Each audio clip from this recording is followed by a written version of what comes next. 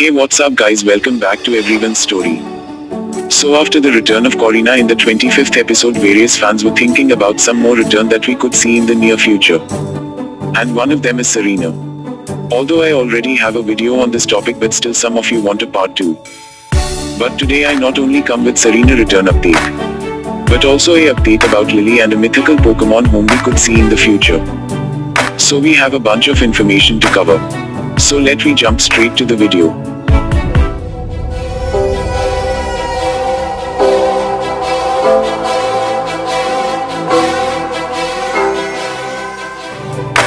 So as you guys know merchandise scan always gives us the idea of upcoming events and future catch.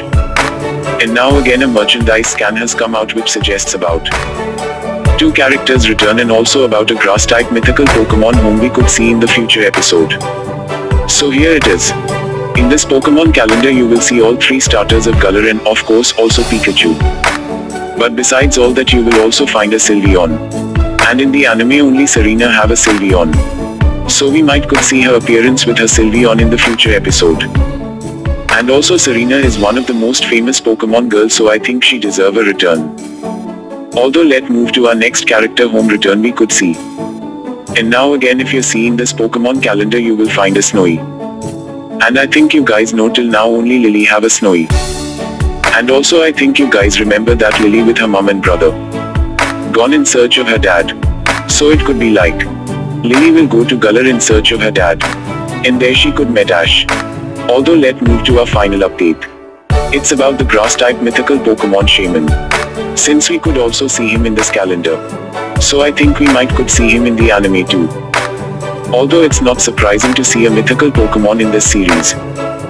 Because we had already seen a mythical Pokemon Mew and the legendary Pokemon Lugia in this series.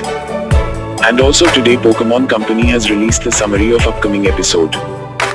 Which suggests that in the 32 episode we are going to see a Celebi. So it not so surprising to see him also in the upcoming episode. Although it's an unpredictable series so anything can happen.